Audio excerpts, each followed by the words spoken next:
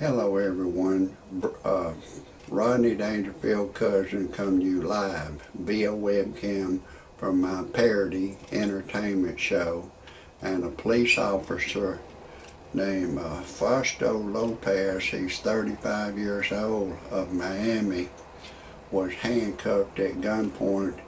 He was weaving in and out of traffic and doing alleged to have been doing 120 miles an hour. and uh, he was driving an unmarked police car. And uh, I got the full details. You're going to hear the rest of the story after I tell you my disclaimer. Some of the names have been changed to protect innocent and some of the pictures have been changed to protect innocent and the guilty and everything in my parody entertainment show is a parody. Don't take anything I say seriously. Don't take anything I say personal. Don't try anything I say at home. If you do, check with your attorney first and then still don't do it. I am a professional. No amateur should ever try anything I say. And everything in my parody entertainment show is science fiction. It's all make-believe, and everything I say cannot be verified. If for some reason or other you disagree with my disclaimer, get your happy ass off my channel immediately. I don't want you to hear a thing I gotta say. Now, um, anyways, let's get back to this entertaining story about this police officer. What he was alleged to have been doing is driving to his second job and he was late. It was uh, 6.30 and he said that he had to be at his second job by 7 o'clock so he was just doing an excess of 120 miles an hour and then he slowed down to in the 70s and the police was trying to stop him and uh, he, he just kept on going and finally he realized that he needed to pull over and tell him he was a police officer and they let him go. But uh, they, they, they got a bad attitude about it. I think if he would have just pulled over right away and he would have said, hey, I'm a cop, you know, we when one of us fuck up, the other one cover up, they, they would have covered up for him. but being that he, you know, didn't know the protocol of what to do, that they end up locking him up and he's facing some misdemeanor charges because he's a police officer, it's all misdemeanor.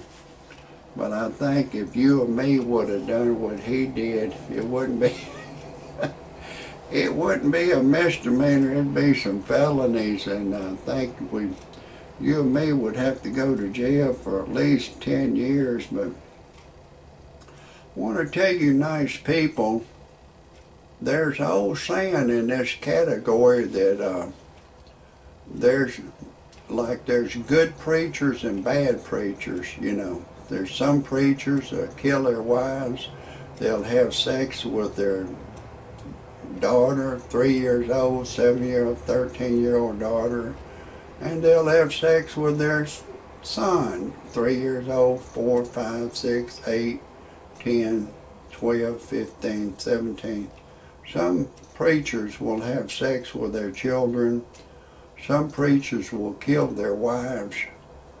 Uh, some people will kill their children. Some there's there's good preachers and there's bad preachers. There's a Jesse Jackson. He told us it was a sin to lust for a beautiful girl. If we see her walking down the street and her booty and she's got moves, we can't even lust for her. And she he went on and impregnated a street whore. And then his goddamn low down son is a preacher too and he told us the same thing, and he impregnated a street whore.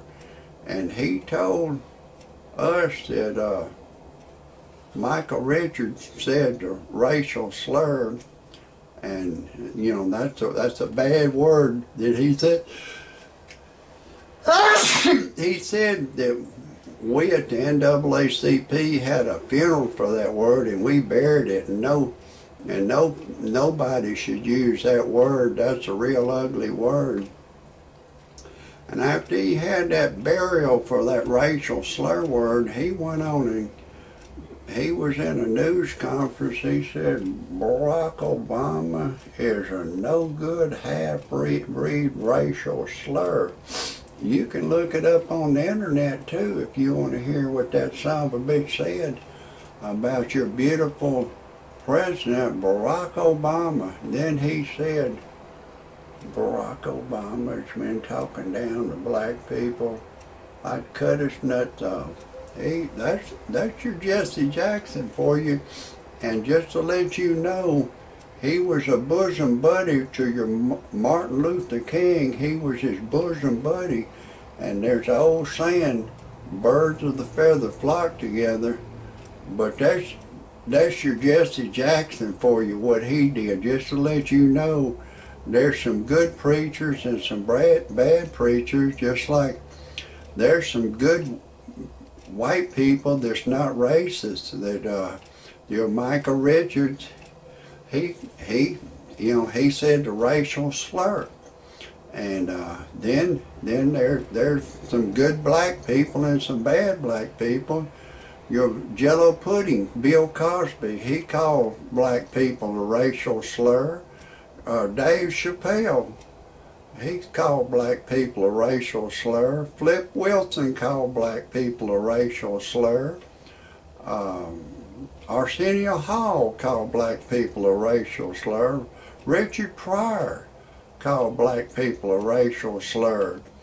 Uh, Katt Williams called black people, uh, Chris Rock called black people a racial slur.